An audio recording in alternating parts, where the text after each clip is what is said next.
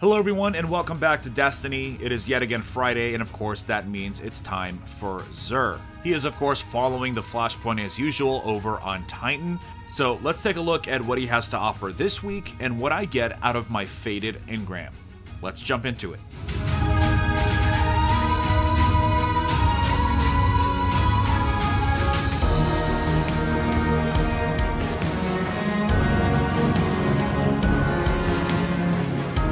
Can make your way over to his usual hiding spot in the rig, and we can take a look at what he has to offer this week. Alright, so first up, we have the Sweet Business. This is an excellent auto rifle, and I highly recommend picking it up if you don't have it already. Of course, the major perk with this is Payday, larger magazine, increased accuracy when firing from the hip, and then it has an exotic trait of Business Time. Holding down the trigger boosts this weapon's range and rate of fire and automatically loads ammo pickups into the magazine.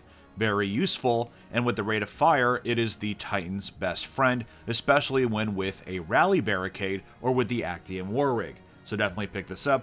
Also, if you're interested, Tess is actually selling the exotic ornament for this as well, so you can go ahead and class it up quite a bit. Moving on for the armor piece for the Titan, we have the Dune Marchers, which is one of my favorite exotics for the Titan. It increases your sprint speed, and then sprinting builds up a static charge. After melee attacking an enemy, that charge will chain damage to nearby enemies. Very useful and very cool indeed.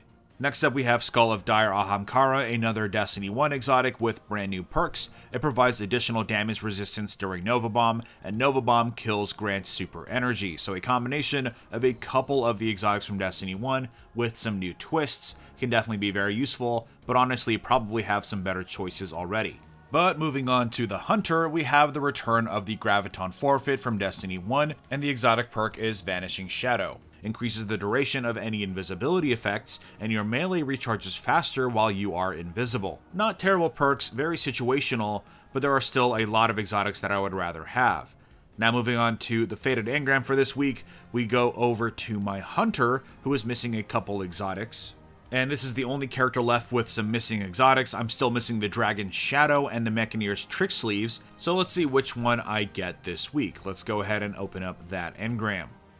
And we have the Dragon's Shadow. Very nice. I'm not a big fan of the Mechaneer's Trick Sleeves, so I'm glad that I got this one. Having said that, I'm probably not going to be using it a whole lot with things like the Gemini Jester or the Orpheus Rig. There's just much more effective exotics out there for the Hunter. Anyways, that brings us to the end of the Xur video. Later today, I'm going to be posting a video going over all of the news that we got yesterday and this week at Bungie. There's definitely a lot to go over. I had some very unfortunate PC issues over the past couple days, but all of those are now resolved and we're back in action. So you can finally expect that video a little bit later today. Anyways, let me know in the comments below what you got from your Fated Engram. Drop a like if you enjoyed this video, and subscribe for more Destiny content. And I will see you all next time.